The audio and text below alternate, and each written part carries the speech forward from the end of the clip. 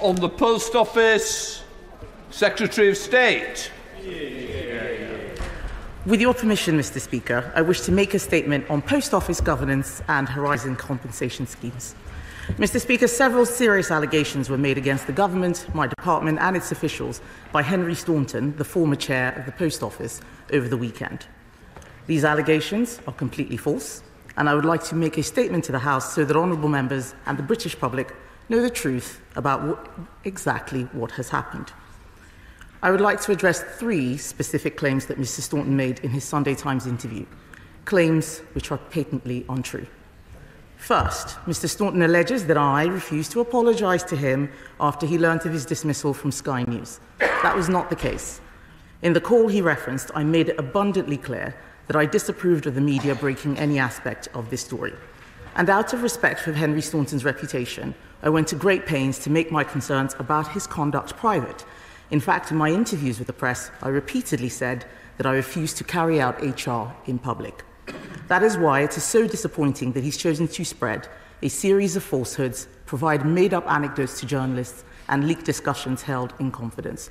All of this merely confirms in my mind that I made the correct decision in dismissing him. Second, Mr. Staunton claimed I told him that someone's got to take the rap for the Horizon scandal, and that was the reason for his dismissal. That was not the reason at all. I dismissed him because there were serious concerns about his behavior as chair, including those raised from other directors on the board. My department found significant governance issues, for example, with the recruitment of a new senior independent director to the Post Office Board. A public appointment process was underway, but Mr Staunton apparently wanted to bypass it, appointing someone from within the existing board without due process. He failed to properly consult the Post Office Board on the proposal. He failed to hold the required nominations committee. Most importantly, he failed to consult the government as a shareholder, which the company was required to do. I know that honourable members will agree with me that such a cavalier approach to governance was the last thing we needed in the Post Office given its historic failings. I should also inform the House that while he was in post, a formal investigation was launched into allegations made regarding Mr. Staunton's conduct. This included serious matters such as bullying. Concerns were brought to my department's attention about Mr. Staunton's willingness to cooperate with that investigation.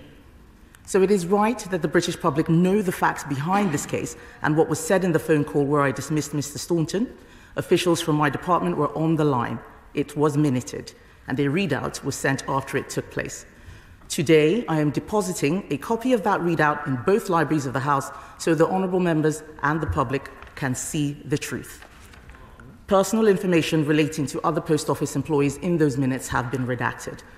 It is for all of these reasons that an interim chair will be appointed shortly, and I will, of course, update the House when we have further details. Finally, Mr. Speaker, Mr. Staunton claimed that when he was first appointed as chair of the Post Office, he was told by a senior civil servant to stall on paying compensation. There is no evidence whatsoever that this is true. In fact, on becoming Post Office chair, Mr. Staunton received a letter from the BEIS Permanent Secretary Sarah Munby on the 9th of December 2022. It welcomed him to his role, making it crystal clear that successfully reaching settlements with victims of the post office scandal should be one of his highest priorities. That letter is in the public domain. The words are there in black and white, and copies of the correspondence will be placed in the libraries of both houses. The reality is that my department has done everything it can to speed up compensation payments for victims. We've already made payments totaling £160 million across all three compensation schemes. That includes our announcement last autumn of the optional £600,000 fixed sum award for those who'd been wrong, wrongfully convicted. It's the strongest refutation, Mr. Speaker, of those in this House who would claim that we only acted after the ITV drama, Mr. Bates versus the Post Office, British people should know that a dedicated team of ministers and civil servants have been working around the clock for many months to hasten the pursuit of justice and bring swift, fair redress to all those affected. To that end, I am pleased that all 2,417 postmasters who claimed through the original Horizon shortfall scheme have now had offers of compensation, and the Post Office is dealing promptly with late applications in cases where the initial offer has not been accepted. My department has also established a Horizon Compensation Unit to ensure that money gets to the right people without a moment's delay. And we announced this autumn an additional £150 million to the Post Office specifically to help them meet the cost of participating in the Post Office Horizon inquiry and deliver compensation to postmasters. In all, we've committed around £1 billion to ensure wronged postmasters can be fully and fairly compensated. And we are taking unprecedented steps with the forthcoming legislation to quash convictions of postmasters affected by the Horizon scandal. In short, Mr. Speaker, we are putting our money where our mouth is and our shoulders to the wheel in ensuring that justice is done. It is not fair on the victims of this scandal, which has already ruined so many lives and livelihoods, to claim, as Mr. Staunton has done, that this is being dragged out a second longer than it ought to be. For Henry Staunton to suggest otherwise, for whatever personal motives, is a disgrace, and it risks damaging confidence in the compensation schemes which ministers and civil servants are working so hard to deliver. I would hope that most people reading the interview in yesterday's Sunday Times would see it for what it was a blatant attempt to seek revenge following dismissal. Mr. Speaker, I must say that I regret the way in which these events have unfolded. I did everything, we did everything we could to manage this dismissal in a dignified way for Mr. Staunton and others. However, I will not hesitate to defend myself and more importantly, my officials who cannot respond directly to these baseless attacks. Right now, the Post Office's number one priority must be delivering compensation to postmasters who have not already been compensated. Those that fell victim to a faulty IT system they implemented and which they turned a blind eye to when brave whistleblowers like Alan Bates sounded the alarm.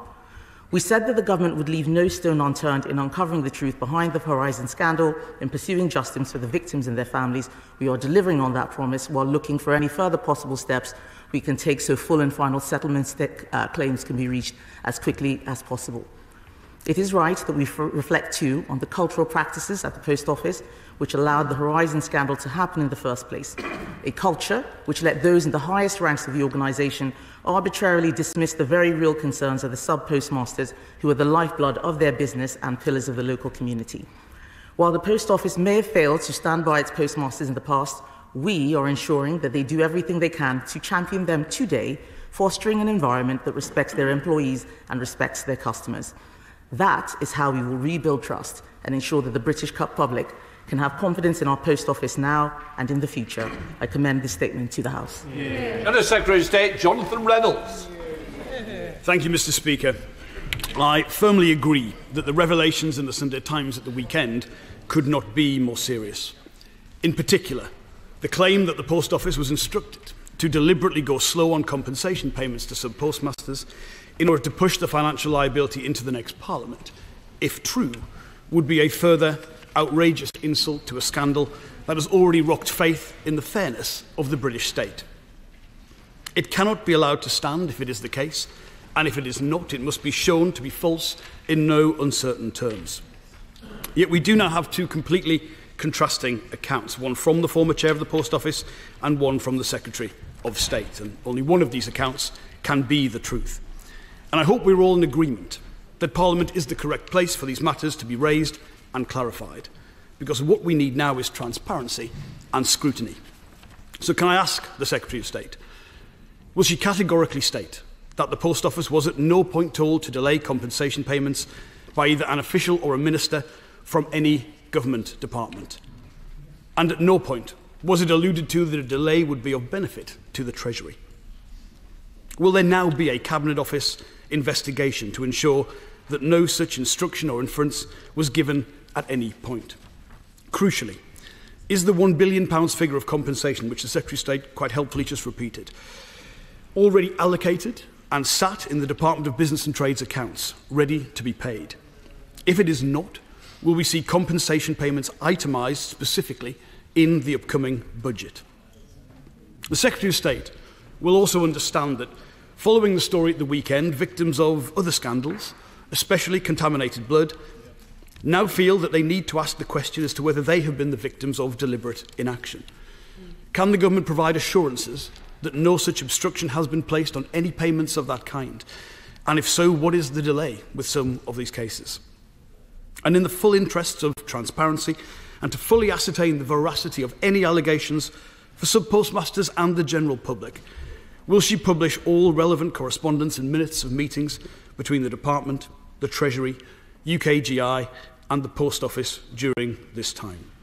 And finally, when can we expect the legislation on exonerations that was promised by the Prime Minister? I cannot stress enough how the last thing that was needed in this scandal was any further allegations of cover-ups or obfuscation at the very top of government. People's faith in government, already damaged from scandals like Hillsborough and Bloody Sunday and Windrush, is hanging by a thread. And this miscarriage of justice has shown the devastation that can occur when institutions are allowed to operate without oversight or are shrouded by secrecy. So we should all agree that that secrecy must end and the full sunlight of public scrutiny brought to bear.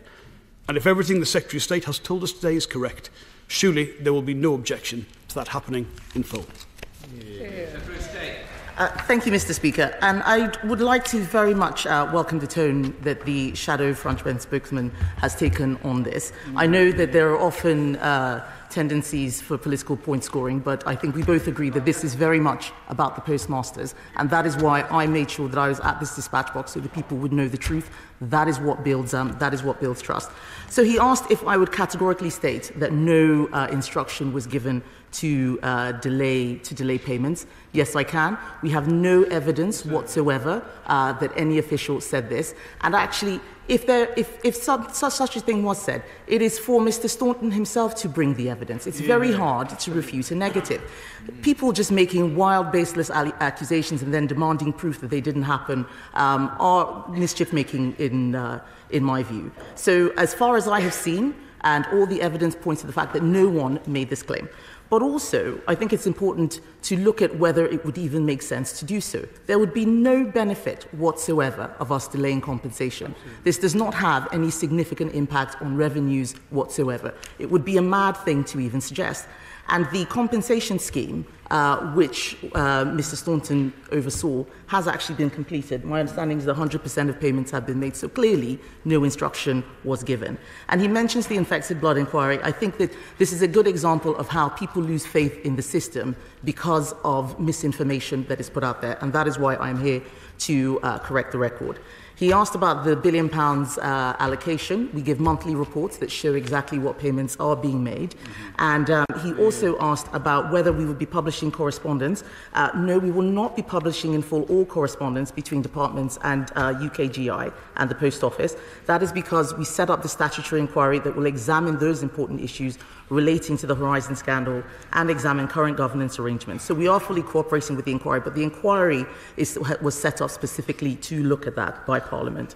Um, and in addition to the readout of the true content of my telephone call with Mr. Staunton, we will uh, consider publishing correspondence between departments and Mr. Staunton in accordance with Freedom of Information rules so that uh, people will know exactly what happened uh, contrary to the account that he has given. He asked about legislation. That is something we're actively working on, and I am expecting uh, that we will be able to do this imminently.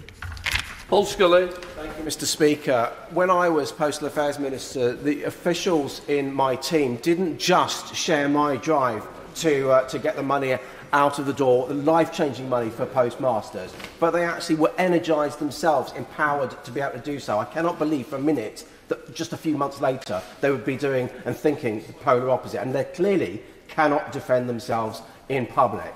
So can my right honourable friend confirm that these conversations did not happen about colluding to slow down the conversation and it's really important that we double down and make sure we do get more money out of the door as soon as possible. Um, uh, first of all, I wanted to pay tribute to my right honourable friend for all the fantastic he uh, did as Postal Affairs Minister, and I can confirm that. My officials have looked through all of the correspondence, all of the minutes in the conversations that Mr. Staunton has had with the department. They have found absolutely nothing. And in the call that he had with me, he did not raise this. If this was something that officials had said to him, surely he would have mentioned it to ministers, either myself or the Postal Affairs Minister. The fact that he did not do so shows that this is quite likely something that he is making up. SNP spokesperson Marion Fellows.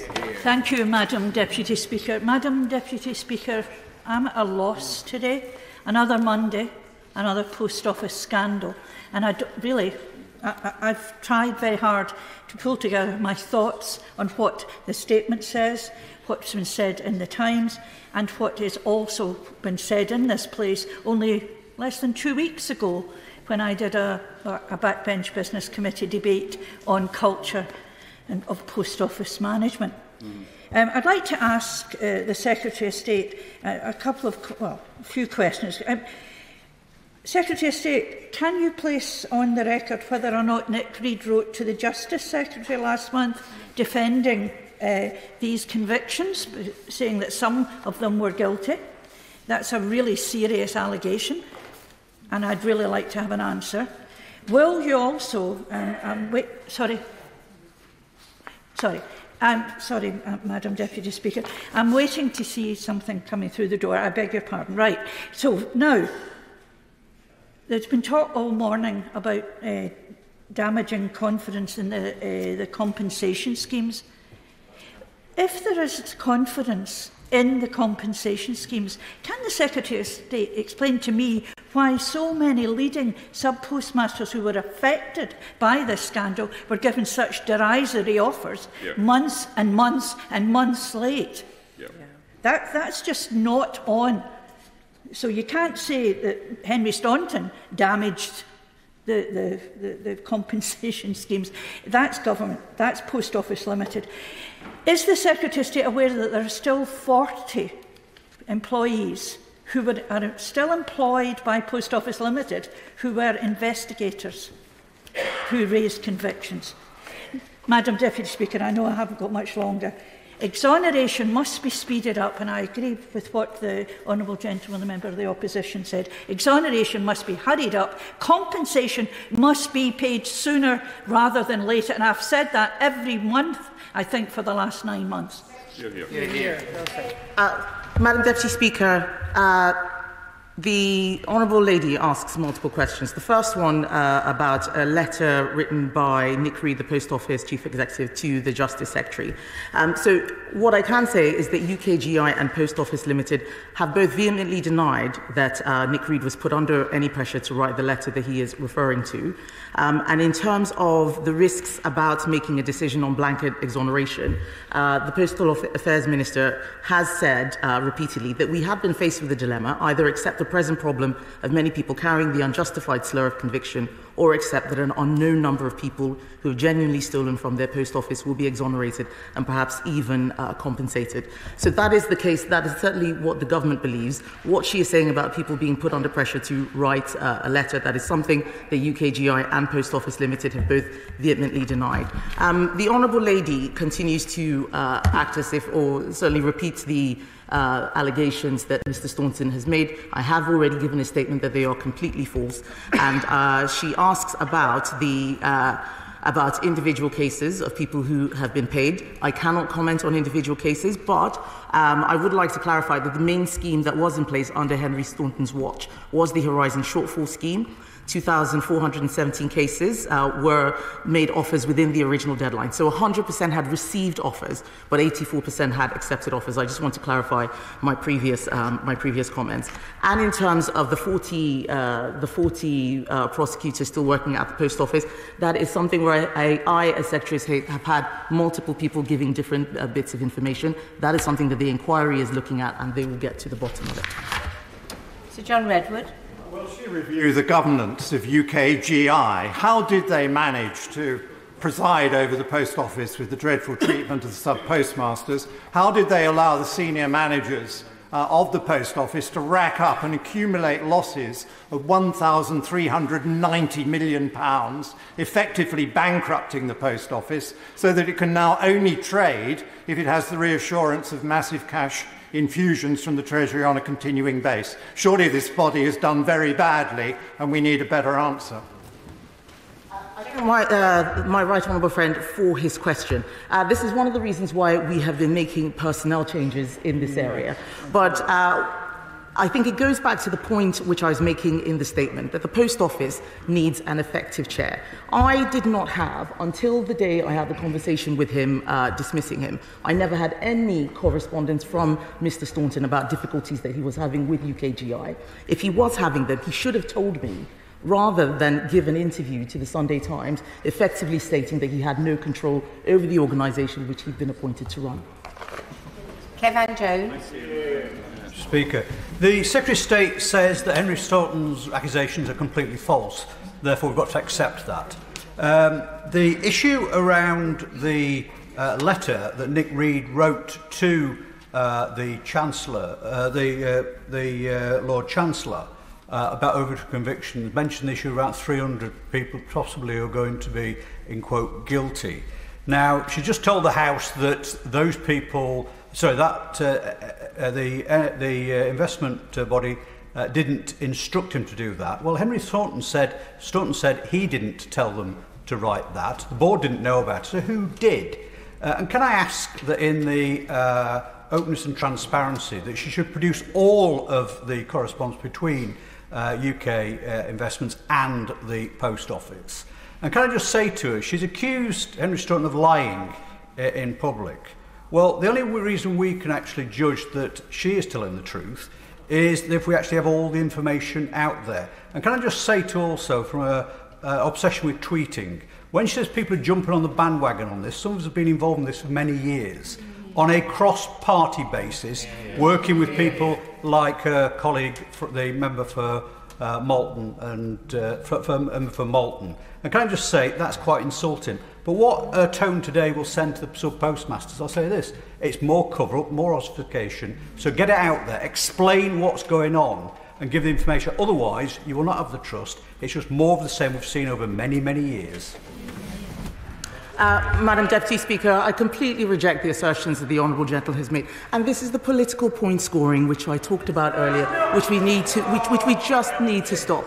He is in, rather than focus on the issue, he's talking about my tweeting. Um, I think maybe he should get off Twitter and actually listen to what I'm saying um, at the dispatch box. He's talking about, he is talking about uh, a letter which UKGI have said that they did not ask uh, uh, Nick Read to write. So I think the question that he's, uh, the, the only possible answer is that Nick Read himself decided to write that letter. I, I, I didn't ask him to write it. Post Office say they didn't. UKGI didn't. And this is what, these are the sorts of things, just trying to continue to make aspersions on ministers. We have made the Post Office an independent body. We have an independent inquiry, and the information will come out in due course course. Sir Conor Burns. Speaker, there is no doubt that there was a bad culture in the post office for a very long time. They misled a significant number of ministers who, to put it gently, could have been more inquiring over the years. Like Can my right honourable friend tell us if she's had time to reflect on the words of the non-executive members of the board representing the postmasters who say that only days before she sacked the chairman, that there was still a culture that they were guilty and that they were on the take. And if that sacking has brought the compensation to those people who were traumatized and misled by the post office, who had their lives destroyed, her decision will go down as being a very, very welcome one. Um, I thank my right honourable friend uh, for that question, and of course I am, I am going to agree with him. But I think it is very interesting the comments that were made by the two uh, members of the board who were former post, uh, postmasters. They are saying exactly what I'm saying. That Henry Staunton was not doing a good job as Post Office Chair, which leads me back to the point made by uh, the Honourable Gentleman in his previous question. He is more interested in attacking the government than looking at what even the members of the board are saying. It is important that we continue to give confidence to people that these organisations are run properly, and that was the reason for the dismissal. Alistair Carmichael. Thank you, Madam Deputy Speaker. Whatever the reason for it, I can tell the Secretary of State having supported constituents in negotiation in relation to the historic shortfall scheme, that the conduct of the Post Office and of their agents in that was one which was characterised by delay and obstruction. That in turn led to a view taking hold among sub-postmasters that there was no point in making claims. Since the ITV drama was aired, I've heard of a number of constituents in my own area that have made claims belatedly. So what more is the government doing to ensure that everybody who is out there who may have a claim is actually going to be able to receive it? Uh, uh, I thank the Honourable Gentleman for his question. It is a good one. I think the fixed sum awards are showing that this is a matter that we are taking very seriously. I became Business Secretary in February of last year, and my one priority was to make sure that people got their compensation as quickly as possible. I did yeah. everything that I possibly could with uh, the Post Office Minister, the member for Thirsk and Malton, who I really want to take uh, the opportunity to thank for his tireless efforts. He had been uh, looking at the portfolio before I got the job as Business Secretary, and I knew that uh, the work was in safe hands. We've worked together as a team. We have fought uh, departmentally to make sure that people got the compensation that they deserve. We brought legislation in uh, just before uh, December, well before the ITV drama. But the cases that he raises are really important to show that there's still a lot of work to do, and we will continue doing that. Duncan Baker. Madam Deputy Speaker. Uh, given the Post Office track record with accuracy, I'm very glad that we have had the Secretary of State. I'd rather take her assurances at the dispatch box than anything from a former disgruntled, uh, sacked uh, employee of the Post Office. Uh, I, during this recess, I even had constituents coming to me still saying that they were affected by the Horizon scandal. So can you assure people that are watching out there, it is a very quick and simple process that people that still feel they lost money in that horrendous period do keep coming forward because there is a process that is easy to be able to fill in a form to make sure your voice is heard and you get that compensation. Um, uh, my honourable friend is quite right, um, and I want to thank him uh, for raising this and also for the work he did. I know that he was a former post of, uh, postmaster, so he knows quite a lot about uh, what has been going on. And uh, I do want to reassure uh, all of the people who've been affected by this scandal. This is something that we are taking very seriously. I was absolutely horrified when I became business secretary to see this, the sheer scale of trauma that people had been going through. We want people to continue coming forward, and where they're not happy with the process, we will look again. But there is a formal process that is in place that makes sure that all the postmasters can be treated fairly, uh, equally, and equitably. Uh, Dame Diana Johnson. Thank you, Madam Deputy Speaker. Uh, the allegations of limping towards the general election in terms of delaying um, compensation payments to postmasters does actually mirror the behaviour of government towards the infected blood scandal.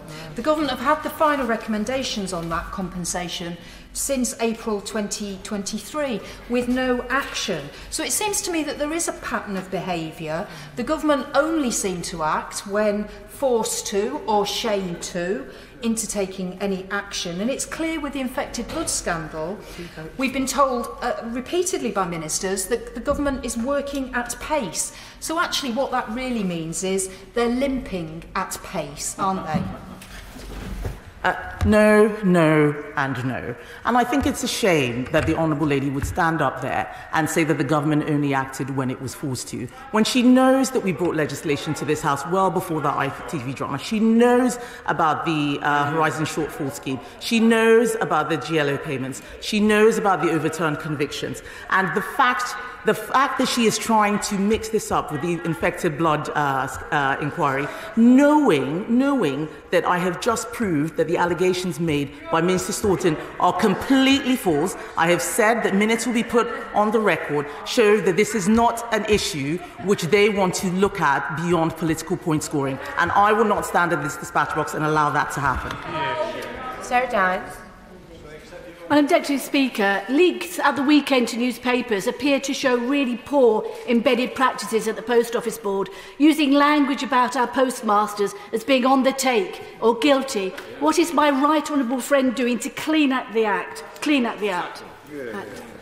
Uh, my honourable friend raises a very good point. This is why we need effective leadership at the post office. This is why I took the decision that I did to dismiss Mr. Staunton, uh, amongst other uh, amongst the other allegations, which um, or, or the, the other issues which I've uh, put into this into the statement. We need people who care, and one of the problems uh, that one of the things that worries me is that because Mr. Staunton has decided to have a revenge in the papers, it's going to make it even harder for us to find people who will come in and do this very very difficult job. And I hope that they will not be put off by the misinformation that has been in the papers. Andrew Bridgen. Thank you, Madam Deputy Speaker, and I thank the Secretary of State for her prompt statement and her laying out her version of events around the dismissal of Mr Staunton, the Post Office Chairman. And we have to accept her statements from the dispatch board, but I have to take uh, exception to one point she's made. She said there was no evidence of stalling of compensation, but that evidence comes from the experience of my own constituents, Mr and Mrs Rudkin whose evidence to, uh, to, to me was actually fundamental in unravelling this whole Post Office Horizon scandal. Susan Rudkin's criminal conviction was overturned in the, one of the first nine in December 2020. When I spoke to Mr and Mrs Rudkin only a few weeks ago, they still have not received their compensation over three years after that criminal conviction was overturned. If that's not evidence of stalling, Madam Deputy Speaker, what is? Uh, Madam Deputy Speaker, uh, what I would say is that I can't comment uh, because I don't have the details on that specific case, but a fixed sum award is available should they wish to take it. There is a process. We will move as quickly as he can. I can't speak specifically about why that delay is there, but we're doing everything we can to get the money out to the postmasters as quickly as possible. Richard Drax. Madam Speaker, I have a once proud former postmaster in my constituency who ran the post office in Swanage. He fell foul of this scandal and was sacked not prosecuted. His life was utterly ruined and he repaid the money that he was owed. That was many, many years ago. His wife is now very, very ill. He still has not had compensation. May I make two points? One, his lawyer tells me the compensation scheme is taking too long. And secondly, because he wasn't prosecuted, can I uh, ask for the front bench's assurance that he won't be brushed off financially simply because he wasn't prosecuted? This man's life and his wife, his, their lives have been utterly ruined. Uh, I thank my honourable uh, friend for, for that question. I, I know exactly the sort of people he will be talking about, and it is really uh, awful to hear everything that they have been through. I myself have a constituent who I've spoken to who's talked about how this scandal ruined her life. We owe it to them to do everything we can to make sure that they are fully compensated. I can assure him that ministers and officials are working every day. I know it isn't always as quick as people would like, but we want to make sure that it is done properly and that there are no issues uh, following that. I don't have the specific details of that case, but they can apply to the Horizon Shortfall Scheme, and if he brings it to the Postal Affairs Minister, we will look at it um, specifically. Kate Osborne. Thank you, Madam Deputy Speaker. Ministers have promised that the government will bring in a new law and to swiftly exonerate and compensate victims. So can the Secretary of State tell me why my constituent, Chris Head, has only been offered 13% of his compensation claim? How can sub-postmasters trust the government or the Post Office to deliver full and fair compensation when they're still facing so much pushback on their compensation claims and receiving offers that go nowhere near financial restoration, let alone compensation for the injustice. And if I can just quickly add, Madam Deputy Speaker, the suggestion by the Secretary of State that the government would have acted in the same way had the ITV drama not been shown is completely unbelieved or unbelievable by most, and none more so than the sub-postmasters themselves. Yeah. Uh, Madam Deputy Speaker, the fact that in December we had brought legislation to the House Empty benches, all uh, opposite when that legislation uh, was brought through. Empty benches, they are the ones who have decided to take a more keen interest after the drama. We have been working flat out. I do not have the specific details of her constituent as she knows, but I will continue to repeat what I've said that where there are people who haven't received uh, compensation, we can look at it. There is a process. There is also an independent panel that they can appeal to, but the vast majority of people who have been getting offers are taking them. Brendan Clarke-Smith. Mr. Speaker, too often Quango bosses are rewarded for failure and able to walk away with big payouts. And it would be a disgrace for the man who has done so little to get compensation for postmasters to get any himself. So, could the Secretary of State confirm that she will block any such payments? Yeah. There will be no payments to Henry Staunton. Sammy Wilson. Um, Speaker. The public squabble at the weekend, I think, further undermines the confidence which people have in uh, what's going to happen and the government's uh, assurances to, uh, to compensate post office uh, so, uh, um, uh, people who are affected. Um, I, I tend to believe the, the view of the minister simply because the record of post office officials of cover up and of passing the buck and of trying to cause confusion has is on record. We know what they're, they're, they're doing. But the fact remains there are still people who have not had any offer of compensation. Yeah. There's still a billion pounds which has not been spent and in giving compensation. There are still people who haven't um, even had their cases considered. Is the best way of answering Henry Staunton not for the government to get on with the job and to make sure that compensation is paid quickly and that people uh, uh, get the compensation they deserve? Yes, the Honourable Gentleman is quite right. And 64%, uh, the, the number I gave earlier, 64% of people have received. We know that we want to get it to 100% as quickly as possible, but we want to make sure that people get the right amount, they're compensated fairly, and that's why we have the process, including uh, a point of appeal if they're unhappy with the offer. But the point he made right at the beginning of his question is correct that people do uh, find, this does undermine, this, the, uh, the, the points made in the newspapers do undermine what the work that we are doing. It was very disappointing to read those statements. It was also disappointing because I'd done everything I could to try and keep this out of the news uh, and do, do it uh, behind closed doors properly. I made sure when I gave minister, uh, you know, public statements that I said I wouldn't do HR in public. I even, when I found out they had been leaked to Sky News, called Sky News and asked them, my, one of my uh, assistants did, to ask them not to put that out in public domain before I had a chance to speak to Henry Staunton. Did the same with the Daily Mail, who thankfully did listen. But we also need the media to help us in this and not publish false allegations. Lee Anderson. Madam Deputy Speaker, Nalan, I am absolutely staggered that the Labour Party now seem to be coming out in support of the disgraced Post Office management team.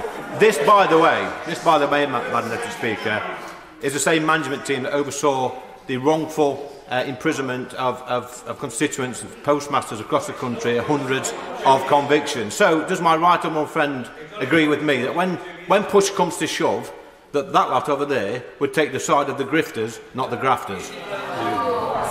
Um, I thank my honourable friend for his question. And uh, this is one of the reasons, as he said, that, uh, where the post office leadership had uh, overseen the wrongful convictions. We have had multiple changes, and this is just the latest to ensure that we get the right, uh, the right leadership in place. But as we can see, I know that some of the uh, some of the members opposite are dealing with this properly. But from the heckling, we can see that for a lot of them, they came here thinking that they could get political points scored, and I am not allowing that to happen. So Chris Bryant. a, a, a lot of members are, of course, um, angry and impatient about trying to get compensation and exoneration for all the postmasters as soon as possible. And if we're all honest, as Parliament, we should have been much more impatient much earlier as a whole. And there are some some rare exceptions, including the, my honourable friend who's spoken earlier, and, and obviously members on the other side of the House as well. Um, but can I just clarify something about the process of his dismissal? Um, as I understand it, Um, he, he found out about it from Sky News. I think the Secretary of State just added a piece of information, which is that she then rang Sky News before ringing him, I think, to try and get them to stop running it. So she knew that this had already been leaked to Sky News from somebody in her department, presumably. Um, what, what investigation did she go through to find out who that was um, that leaked it? Has that, is that person still in post? Um, because otherwise, one might just worry that it might have been she herself who leaked it. Um, I, I knew I knew that someone I knew that someone would uh, would ask that question. I have, in fact, evidence to show that I asked Sky News not to run the story. Of course I didn't leak it, because if I had, it would have created, it would have created legal risk if he found out on the news before, if he found out on the news before I had had a chance to, uh, a chance to speak to him. We have no idea how Sky News found out the information. There are several thousand people who work at the Department for Business and Trade. There are many more who work at the Post Office, at UKGI. The Honourable Member is heckling. But the point I am making is that leaks are incredibly damaging and harmful. They create legal risk for the department. I did not do so. I made multiple efforts with at least two media uh, outlets to make sure that they did not create problems for Mr. Staunton. And it is one of the reasons why it is very disappointing to see what he did in the Sunday Times at the weekend. Debbie Abrahams. Thank you, Madam Deputy Speaker. To be honest, I, I'm afraid I don't think the Business Secretary uh, and her statement has, has helped us to get closer to what the uh, the, the truth is in this uh, situation. It is a question of the Secretary of State's um, version of events and the former chairman's version of events. So, uh, would, um, for clarity um, and to try and draw a line under this and to get to the truth, would the Secretary of State be willing to refer herself to the ethics advisor? I think that that is a ridiculous assertion from someone who clearly was not listening to the statement. Yeah. The difference between what I'm saying and what Mr. Staunton is saying is that I have officials who will back me up. I have members of the advisory of, of the post office board who will back me up. I have uh, newspaper uh, and media uh, outlets who will know that I tried to stop the story. The fact is, she just wants to believe Mr. Staunton's allegations because yeah, yeah. that helps them politically, but they are not true. They need to listen to the truth and stop hoping for lies. That is not what our job is in this House. Uh, Clive Efford. De Deputy Speaker, if Henry Staunton is uh, guilty of what the Secretary of State has accused him of, it does beg us belief that he was only appointed two years ago by this government. But, but uh, can I ask her about post office investigations? Because I've got yet another constituent who's come forward who's forced to sign a non disclosure agreement by the post office who hasn't been fully compensated for what they lost when they lost their business. Is it, is it acceptable for the post office to be involved with investigations still?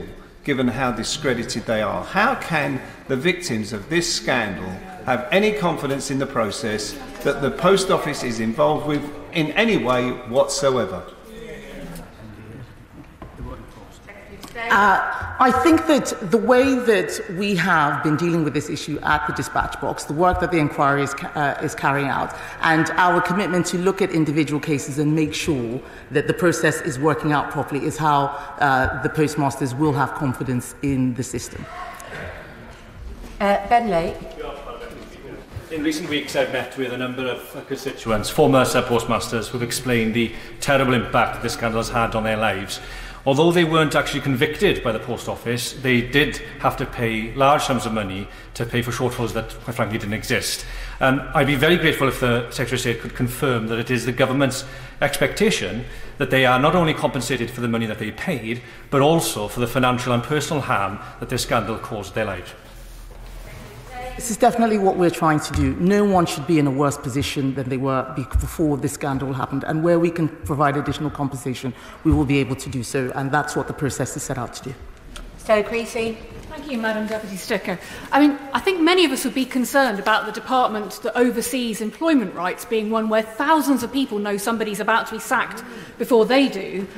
but we would agree with the Secretary of State when she says this is really about giving the public confidence that when wrongs come to light, they will be righted. And the challenge that she faces here is the track record of recent decades is not good. It's not just about the Horizon scandal, it's about the nuclear veterans, Windrush, the Waspy women, the infected blood scandal, Grenfell. Time and time again, it's the compensation schemes themselves that become the story and a source of injustice. So rather than taking to Twitter, isn't the right rejoinder on this to become the first Secretary of State to say, actually, we should put out to an independent body management of compensation schemes involving government so that everybody could have confidence? I'm sure she would find support on this benches for that. Uh, first of all, I haven't said that thousands of people knew that Henry Staunton was being sacked. I said there are thousands of people who work in the department, and it could have been anybody who put that out there. Again, it's really important that we stick to what is uh, what's been said on the record. She mentions that these are scandals that have been going over decades. I would like to remind her that the Horizon scandal happened and started under a Labour government. It is this government that is beginning to fix it. Uh, Barbara Keeley. Thank you, Madam Deputy Speaker. I want to raise with the Secretary of State the um, shortcomings of the Horizon Shortfall Scheme.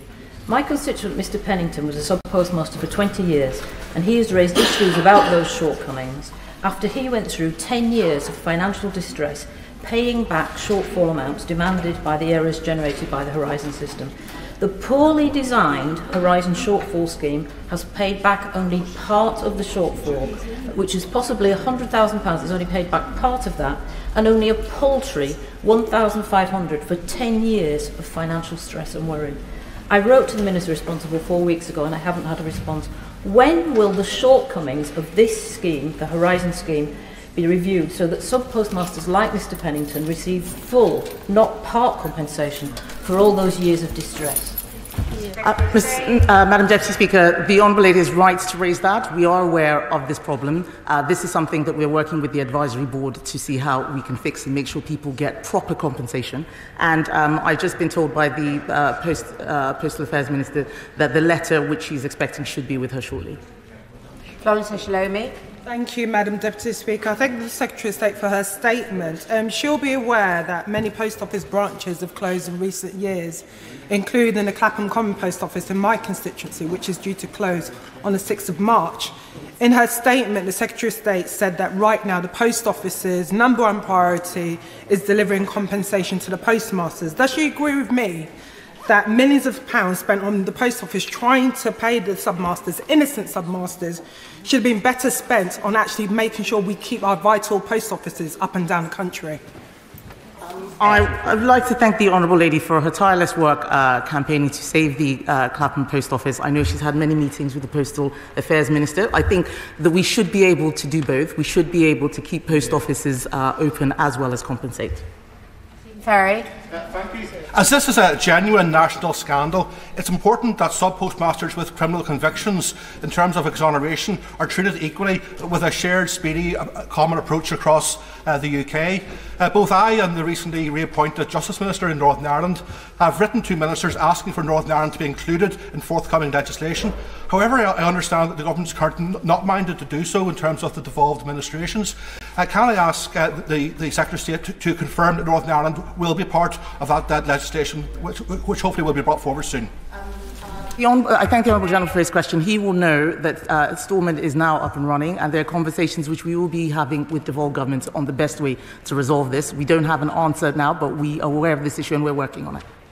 Jones. Thank you, Madam Deputy Speaker. The reports on the weekend were extremely uh, alarming, given the way that the postmasters have been treated in recent years. The obvious question, though, is could the, the Secretary of State give any assurance or guarantee that, that the compensation will be repaid and th those, uh, the, the um, compensation taken forward before e, the general election is called, that surely is the very basic that sub-postmasters would ask uh, and the very least that they deserve. Yeah, yeah. Uh, that's absolutely the right thing to do. And I thank the Honourable Gentleman for his question because it gives me another opportunity to just to restate that the very idea that compensation would be delayed till after the election is a complete nonsense. It doesn't even make political sense. We want to make sure people get their money as quickly as possible. Jim Shannon. Thank you, Madam Deputy Speaker. And can I thank the Secretary of State very much for our, our very uh, positive answers. Uh, Secretary State, across the United Kingdom, Great Britain and Northern Ireland, there are hundreds of postmasters and postmistresses uh, still awaiting compensation for these wrongdoings. Whilst it's understood that this is a very sensitive subject for many, can the Secretary of State provide an update to the, the timescale or just when Secretary of State expects everyone entitled to be compensated, especially for all constituents across the United Kingdom, Great Britain and Northern Ireland? The fact of the matter is, some people have waited two years, three years and longer. It just really can't go on. Um, Madam Deputy Speaker, uh, the honourable member is, uh, gentleman is right. It can't go on. I want to see everyone get their money as quickly as possible. Uh, by the end of this year, everybody should have received their funding. That's certainly what I'm working towards.